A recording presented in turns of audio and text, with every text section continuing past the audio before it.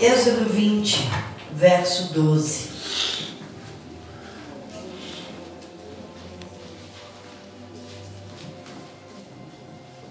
Êxodo capítulo 20, versículo 12.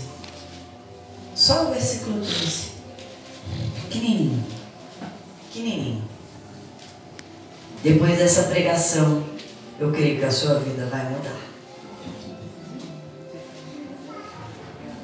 É um dos dez mandamentos dado para o Senhor, dado pelo Senhor para nós. Diz assim: Honra a teu pai e a tua mãe, para que se prolongue os teus dias na terra que o Senhor Deus te dá.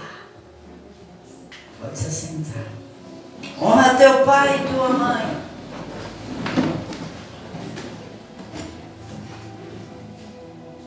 Isso não existe mais nos nossos dias. Honrar o pai e a mãe. Ainda tem uma promessa de Deus para que você tenha uma vida longa aqui na terra. Honrar para mim, vou falar de mim. Honrar o pai e a mãe é respeitá-los, é não responder, é não desobedecer, é sempre primeiro os pais aqui na terra, enquanto você está com os pais, quando você tiver a sua família, mas nunca abandonar os seus pais, continuar honrando. Honrar os pais, é, mesmo que eles não tenham razão, você respeitar e não responder. Vou traduzir: é pecado desobedecer os pais. É injusto, porque vai contra o mandamento do Senhor. Eu quero falar de um jovem que desobedeceu os pais na Bíblia. Foi o primeiro pecado de Sansão na Bíblia. Eu queria, na história de Sansão, falar desse versículo. Honra teu pai e tua mãe, para que se prolongue os teus dias na terra, que o Senhor Deus te dá. Sansão, um menino fruto de oração. Seu pai, Manoá, orou muito por um menino, porque a mãe de Sansão era estéreo, ela não podia ter filhos. E Manoá orou, e um anjo de Deus foi até a mulher, a mãe de Sansão, e falou para ela que ela ia dar um filho. E diz que esse menino seria um nazireu de Deus. Ele seria separado para Deus, uso exclusivo de Deus. Então que na gravidez, já na gravidez, ela não bebesse bebida forte, ela não comesse nada imundo, porque o menino será nazireu e não vai passar navalha na cabeça dele. E assim aconteceu. A mulher de Manoá concebeu e nasceu um menino. A estéreo deu um filho. E Sansão nasceu. E o Senhor abençoou a Sansão. Sansão já era cheio do Espírito de Deus. Cheio. E Sansão jovem ainda, porque antigamente se casava mais jovem do que hoje. A menina, quando ela entrava na sua fase menstrual, já estava pronta para casar, antigamente.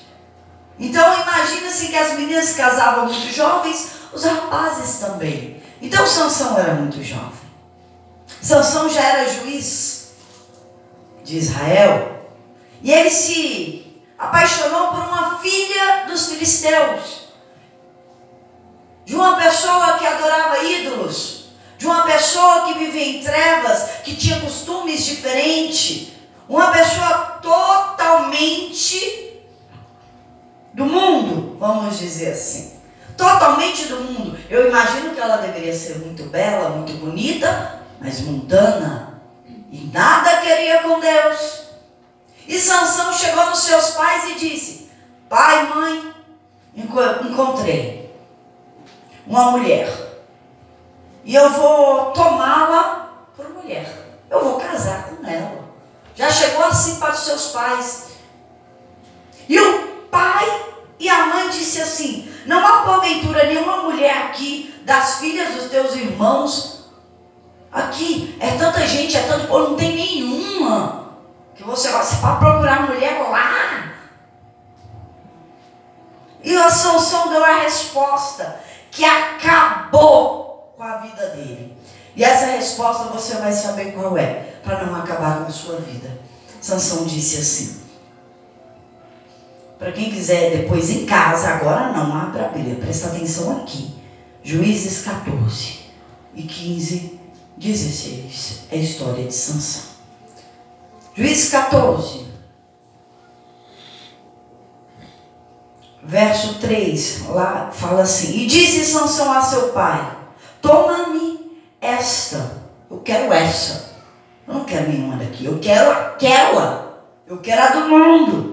Eu quero aquela que me atraiu com o olhar, que eu olhei e me agradou os olhos, que eu enchi o olho, porque esta me agrada os olhos.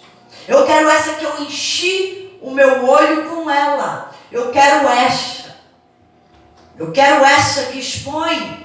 Eu quero essa. É a minha vontade, o que eu quero, o desejo do meu coração. Eu mando em mim. É essa e pronto, acabou. E desobedeceu Sansão, seus pais. E estou indo lá agora, viu? Na terra de lá, buscar ela e tomar ela por mulher. E quando Sansão estava indo no caminho, um filho de um leão atravessou a Sansão. E ele catou esse leão com a mão limpa e despedaçou o leão, matou, porque ele era cheio de força. O Espírito de Deus estava nele e se apoderava dele. Ele tinha uma força surpreendente. E ele rasgou esse leão com nada nas mãos, com a mão limpa, sem ferramenta, sem faca, sem nada. E ele matou esse leão. E levou alguns dias para chegar até a terra lá dos filisteus para pegar a mulher. E se casou com ela fez o que ele quis da vida, o que agradou os olhos dele, a vontade dele, sem obedecer os pais e nem se importando com a aliança que ele tinha com Deus. A aliança de ser nazireu de Deus, separado para Deus. Alguém que tem uma aliança, um compromisso com Deus, alguém escolhido por Deus e muito bem escolhido, porque o Espírito Santo não era para qualquer um. Não é como hoje para nós todos, disponível. Simplesmente era para sacerdotes, juízes, reis, só pessoas com cargos, tanto eclesiástico como de autoridade, porque todo reconstituído tinha que ter o Espírito Santo também. Na época chamado Espírito de Deus, Davi era cheio do Espírito de Deus para tomar as decisões, ser guiado por Deus. E Sansão era guiado pelo Espírito, mas ele não quis ouvir o Espírito, não quis ouvir os pais. Ele queria ouvir o que ele quer. E isso custou muito caro. Ele rasgou lá o leão, casou, e quando ele voltou para a casa dos pais, no meio do caminho, ele encontrou o leão que ele tinha matado. Só que ele já estava com fome. E dentro do leão Diz a palavra que lá tinha um enxame de abelha, um favo de mel, vamos dizer assim. Um favo de mel. E ele tomou aquele mel e ele comeu aquele mel, ainda foi para a casa dos pais e deu para os pais. Só que eu disse aqui que ele não poderia comer coisa imunda. E a Bíblia diz que o morto na época de Sansão era imundo. Ele não podia tocar em morto. E ele tocou no morto e dentro desse leão ele tirou um favo de mel. Quem sabe aqui quanto tempo leva um favo de mel para ser feito? Te garanto que não é dois, três dias, que não é uma semana. Ele já estava cego. O diabo já tinha cegado ele. O que ele comeu foi coisa imunda, morta, achando que era um favo de mel, porque era bom aos meus lábios. Porque quando o pecado vem, ficamos cegos. E comemos imundícia e falamos que é mel na nossa boca. O pecado é tão gostoso como mel. Mas no fim ele amarga dentro de nós.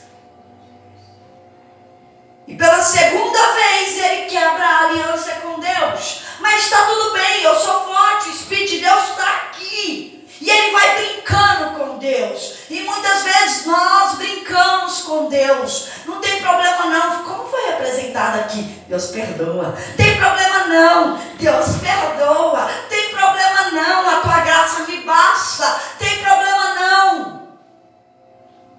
Mas era um escolhido do Senhor. Chega uma hora que o Senhor põe melhor que você no lugar que Ele chamou. Nosso Pai é bondoso e misericordioso com o pecador, mas Ele não ama o pecado. Mas eu queria dizer para você, para ser um escolhido, um líder, alguém direcionado por Deus, não pode ser qualquer um. Sansão não era qualquer um, mas se fez como qualquer um. E de repente, como se não bastasse tudo isso, ele arruma uma confusão lá nos filisteus, porque ele queria ser o maioral, queria se mostrar com enigma, porque eu sou, eu sou, eu sou, eu quero aparecer, eu quero status, eu quero ser o maior, o mais forte, eu quero. Agora eu quero atenção para mim. E acabou que arrumou uma briga aqui, daqui a pouco, ele ainda contava com Deus. Deus ainda não tinha se retirado. Porque o Espírito Santo ele fica assim, como Jesus ficava aqui, o Pai ficava aqui, ei, ei, para, eu estou aqui, não faz isso. A gente se faz de surdo, não quero, não quero, estou aqui, eu faço o que eu quero, tenho poder.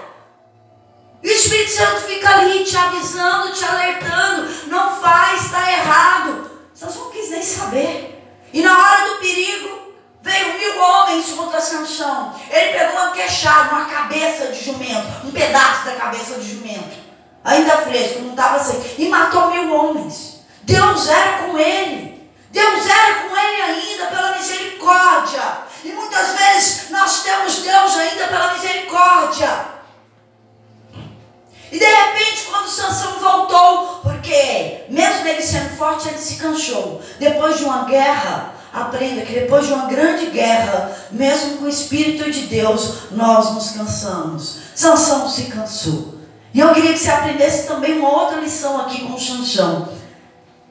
Quando ele teve sede, eu quero ler esse pedacinho aqui para vocês também aprender quando alguma coisa faltar. Juízes 15, verso 18, tem a oração revoltada de Sansão, que diz assim: E como tiveste grande sede, clamou ao Senhor e disse: Pela mão do teu servo tu deste essa grande salvação. morrerei eu, pois, agora de sede, e cairei na mão desses incircuncisos? É, Sansão dizendo, eu estou com sede, estou cansado agora. Matei mil homens com a sua força. Agora eu vou morrer de sede? Se o Senhor me faz matar mil montes, o Senhor não é capaz de me dar um copo d'água no meio do deserto? Eu quero dizer para você que mesmo na pior situação da sua vida, se você clamar sinceramente, o Senhor vem suprir, o Senhor vem ajudar, como vem ajudar aqui no teatro. Cada vez, mesmo você não merecendo, mesmo você estando em erro, se você clamar, Deus vai vir e vai te ajudar. E Sansão clamou, estou com sede. Ah, e na hora Deus pendeu o chão, abriu um buraco ali, saiu água. Acabou. Jorrou água, transbordou, mata a sua sede, bebe água. E ele bebeu água e retomou as suas forças. Aí o infeliz vai para uma casa de prostituição. Pede para Deus ajuda, Deus provê, Deus faz milagre. E ele foi lá na casa da luz vermelha na casa da luz vermelha. Ele foi lá porque ele achou que podia se deitar com uma mulher. Não, não, gente, mas prostituta paga. Ele foi na casa de prostituição, não foi com qualquer. Foi na casa de prostituição, porque eu sou homem. E. E ele foi ali, mais uma vez, apesar de tudo, Deus era com ele, porque os filisteus fechou tudo, agora a gente mata. Ele entrou lá na casinha da mulher, na casinha da luz vermelha, vamos matar ele. De manhã, quando ele saiu, os filisteus iam pegar. Mas olha, Deus é tão bom, falou, filho, sai daí. Meia-noite, Sansão saiu, as portas da cidade estavam fechadas. Ele arrancou os portões com a força que Deus deu para ele. Só que muitas vezes Deus nos ajuda tanto que eu sei, não sei se isso é bom ou ruim. Bom é porque você escapou com vida, que você ia morrer. Mas ruim é porque você fala, agora eu posso, faço o que eu quiser e Deus é comigo. Me põe em apuros e Deus me tira. Só que isso tem um tempo. Por que tem um tempo? Eu vou explicar para vocês. Tudo na vida é plantação. Você planta e você colhe. Sansão plantou uma infância, uma adolescência. Quando chegou na juventude, ele tinha colheita ainda, ele tinha fruto. Mas ele deixou de plantar ali. Uma hora a colheita acaba. Então essa colheita pode acabar em seis meses, três meses, em um ano ou dois anos. Quando acabar essa colheita, você vai ficar sem nada. O Espírito do Senhor se retira. E agora? E agora você vai ter que enfrentar as lutas da vida sozinho. E saindo dessa casa de prostituição, ele se afeiçoou ali por mais uma, chamada Dalila. Se afeiçoou. Não diz amor, porque o amor vem de Deus. Alguém que está sujo e mundo não ama. Ele se apaixona. Ele tem ciúme, ele tem loucura, ele perde a rédea, ele põe a pessoa em primeiro lugar. Deus, quem é Deus, Jesus? Quem é Deus? Quem é Deus? Não, Dalila, Dalila. E ali ele ia aos encontros com Dalila. Né? Porque agora, já que já fui casado mesmo, já que fui até prostituição, para que casar? Fica só no encontro, só daquele jeito, do jeitinho aqui, do jeitinho ali. Deus entende. Não sou mais um rapaz, a menina não é mais uma donzela. Então vamos bagunçar. E quando pensa assim, hum, lá vai Dalila, vendida para os cristãos para pegar Sansão, falou: Me conta o segredo da sua força, porque eu te amo, conta para mim essa história, porque eu te amo. Porque eu te amo, não vai mais na igreja, não. Porque eu te amo. Se você for lá, eu não vou com você. Ai, porque eu te amo, abandona isso. Porque eu te amo, faz isso aqui. Porque eu te amo, faz aquilo ali. Hum. Aí Sansão entrou em mais um pecado, agora já está no quarto pecado, quebrando a aliança com Deus. Entrou num processo chamado mentira, porque um abismo chama outro abismo. E começou. Então, se você me amarrar com sete vigas de vime, aquele que faz balaio, tem um aqui, ó, aqui dentro. Pega ali para mim, para mostrar o que é vinho para eles. Balaio ali, um cesto tem um balaio, sei lá. Um vaso, em forma de vaso. Se você me amarrar com essas vigas, tem que ser ela enverga. Seca ela não enverga, ela quebra. Vaso? Isso. Acho que esse aqui é jornal. Sei por quê. É parecido com isso aqui. Me amarra com isso aqui, com sete dessa fresca, obrigado. E aí minhas forças Vamos embora. Eu enfraqueço, acabou. E ela foi lá, armou, deixou ele dormir, né? Porque assim, só uma dormidinha, não quero compromisso, não quero levar minhas roupas, não quero casar com você, não. Mas dormir eu quero, então vou dar uma dormidinha aqui. Aí quando ele dormiu lá, deu uma idinha lá, ela amarrou ele. Amarrou. De repente, ela grita, olha os filisteus, ele levanta e rebenta e quebra tudo. Porque Deus ainda era com ele apesar de tudo, até da mentira, Deus ainda era com ele. Mas sabe, eu vou dizer para vocês: não vivam no fio da navalha, não vivam no fio do perigo, não viva no fio que leva para o inferno, no fio que se romper leva a sua vida. Sansão estava brincando, brincando com Deus e com a aliança que ele tinha com Deus. De repente ele quebra e bate e todo mundo vai embora. Mas a paixão louca está aqui, porque Dalila subiu para a cabeça, saiu do coração e subiu para a cabeça. Lá foi ele de novo. E Dalila dorme aqui, meu amor, fazia cafuné para ele dormir. Aí ele dormia nos joelhos de Dalila. Ela assim faz, fala aqui, ô oh, bicha carinhosa. E daqui a pouco ele disse assim: se você me amarrar bem forte, com corda nova, que ninguém usou, esse é o segredo da minha força, acaba a minha força. Lá foi ela, arrumou as cordas, amarrou, ela gritou, os cristãos estão vindo, e agora Sansão aí ele quebra as cordas, quebra os filisteus e sai correndo. A força era com ele, Deus era com ele. Só que ele esqueceu, Deus era com ele, ele não era com Deus. Aí pela outra vez mais uma mentira de Sansão. Sansão, estou triste. Você não me conta a verdade. Você está tirando sarro de mim, zombando de mim que te amo. Se eu, se eu tivesse lá, sabe o que eu faria? Você está zombando é de Deus. Não está zombando dela, não, você está zombando de Deus. Hum, aquilo que a gente planta, não zombe de Deus, porque aquilo que a gente plantar, a gente vai colher. Não escarnece, não. Aí ele falou assim: se você tecer sete tranças dos cabelos da minha cabeça com liso de teia, hum, aí eu perco as forças. Lá foi ela arrumar isso. Amarrou Sansão. Lá vem os filisteus. Sansão quebra tudo, bate nos filisteus. Eu imagino Dalila pensando, meu Deus, e agora? Só que eu vou dizer uma coisa. Dalila pensando, o diabo ele não desiste. Ele vai ficar em cima quantas vezes for necessária. Ele não vai desistir. Aí lá mais uma vez. Agora foi no profundo. Foi no escondido, né? Coloca ele ali no meio. Diz a palavra que no meio das coxas dela, a cabeça dele. E começa a falar com amorzinho, com amorzinho. E aí Sansão não resiste. E diz assim a palavra. Juízes 16, 17. E descobriu-lhe todo o seu coração e disse-lhe: Nunca passou navalha pela minha cabeça, porque eu sou nazireu de Deus.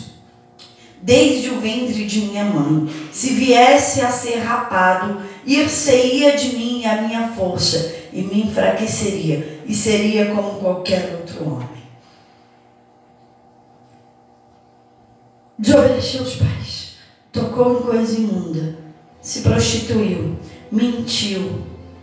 Mas o pior de todos é negar a aliança com Deus, é contar o segredo entre você e Deus. Agora ele estava dizendo: estou tirando o primeiro lugar que era de Deus e estou colocando você. Eu abri o meu coração para você hoje. Eu descobri, tirei o que cobria o meu coração sobre tudo o que deve guardar, guarda o seu coração. Daí saem as fontes da vida. Ela tomou o coração dele, o primeiro lugar. Agora não era só simples pecado aqui, pecado ali, pecado acolá. Agora ela era a primeira na vida de Sansão. Ele não teve temor e quebrou definitivamente a aliança dele. E Dalila, quando ele dormiu, cortou o cabelo dele, rapou a cabeça, acabou. E quando ele levantou, ele falou: Agora eu vou de novo, porque Deus é comigo, Deus é comigo. E a falou: Sansão, os cristãos estão invadindo para te pegar, Sansão. E ele levantou e. Cadê Deus? Acho que ali foi o pior momento da vida. Não sentir Deus perto. Não foi como um teatro. Que a mocinha quis Deus perto, mas abandonou Deus de vez. Quando procurou Deus, não estava mais lá. O Espírito de Deus não estava mais lá. E quando ele foi contar com Deus, Deus desistiu? Não. Ele desistiu de Deus por várias vezes. Ele desistiu. E os filisteus entraram e arrancaram os olhos de Sansão, deixaram-no cego. Por que cego? Porque um cego nunca pega numa espada e acerta alguém. Porque um cego nunca vai matar. Porque um cego vira inválido numa guerra. E ali ele foi cego, foi motivo de zombaria. Quem zomba de Deus foi motivo de zombaria. E ele foi escravizado escravizado, ele foi amarrado por cadeia de bronze e ele ficou numa moinha, moendo, andando em círculos. Além de cego, anda em círculo.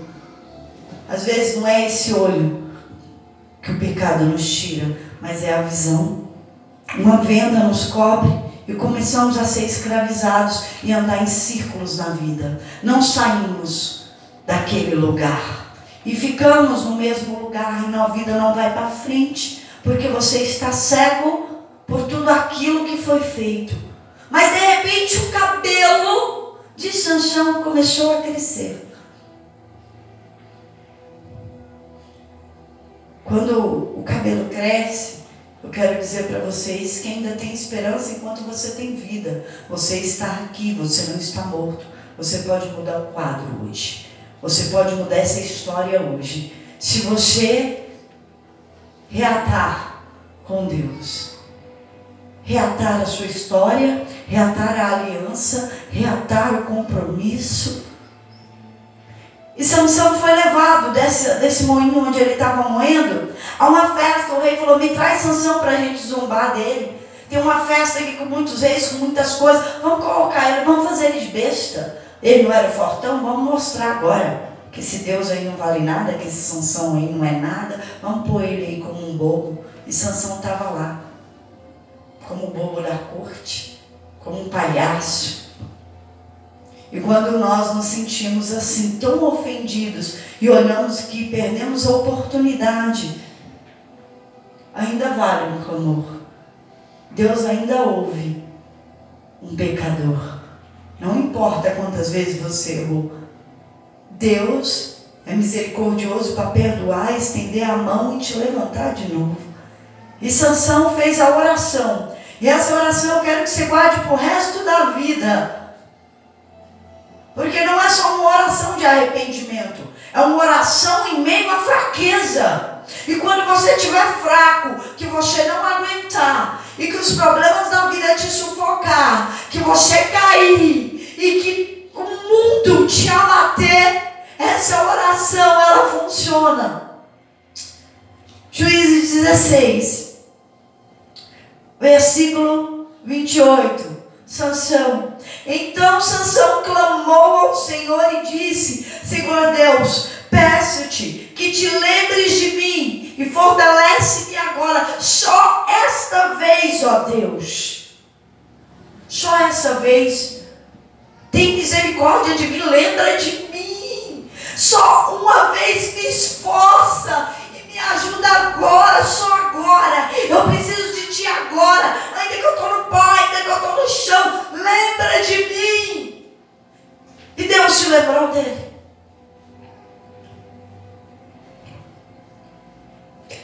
E Deus fortaleceu a sanção que ele abraçou as duas colunas que sustentavam aquele lugar.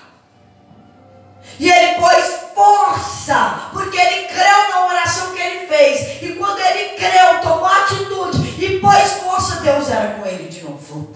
O Espírito entrou e ele forçou e matou ali todo aquele povo, todos aqueles reis, todos aqueles filisteus. Ele exterminou todos os cabeças e os líderes dos inimigos de uma única vez e morreu junto. Ele foi salvo pela oração dele, lembra-te de mim. Ele voltou ao Criador no último momento da vida, mas ele morreu jovem. Porque ele descumpriu um mandamento que nós lemos: honra pai e mãe para que prolongue os seus dias na terra. Não honrei meu pai, não honrei minha mãe, morri jovem. Graças a Deus que salva. Não viva no fio da navalha. Não vive testando Deus. Não viva no limite do inferno. Não viva no limite da vida.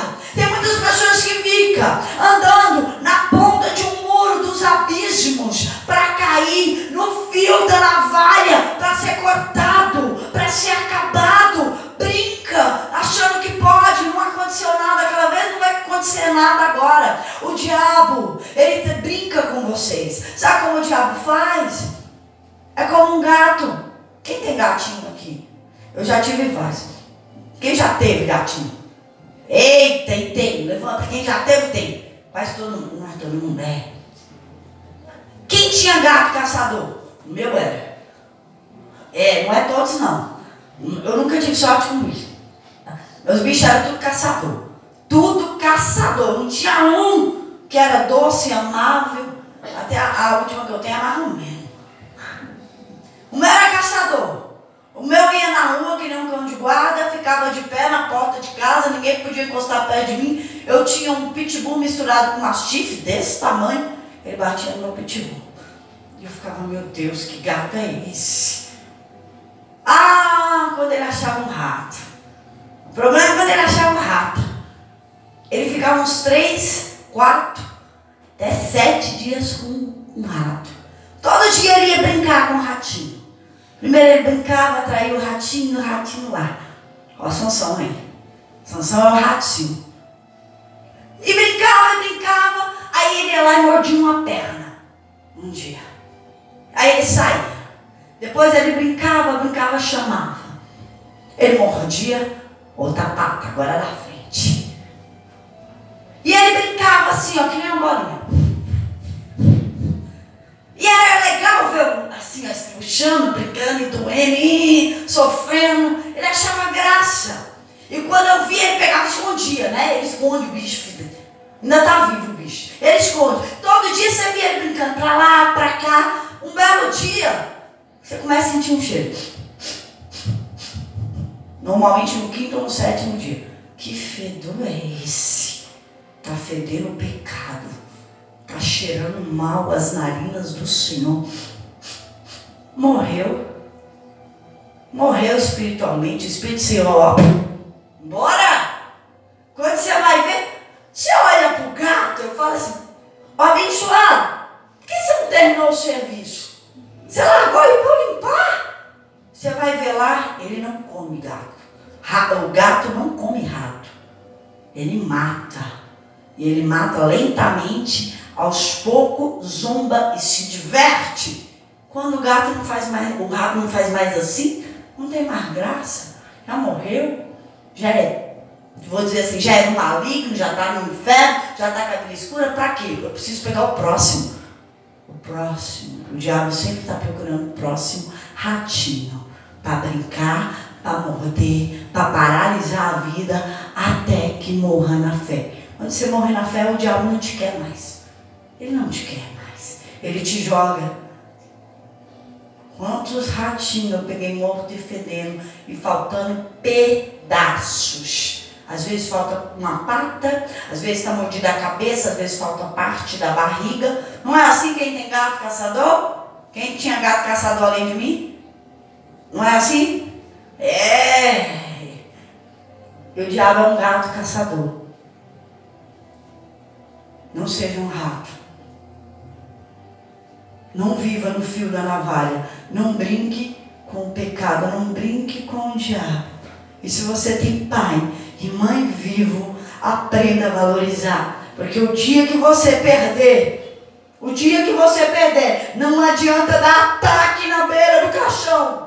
Não adianta dar ataque e dizer assim: eu não fiz, eu não dei amor, eu não dei alegria, só dei desgosto. Não vai voltar, não tem jeito mais. Faça enquanto você pode fazer por eles. Honra teu pai, honra tua mãe. Pega o telefone e liga. E se brigar com você, não responda. Eu disse para honrar, eu não disse para ter razão. Honra teu pai, honra tua mãe. Respeite.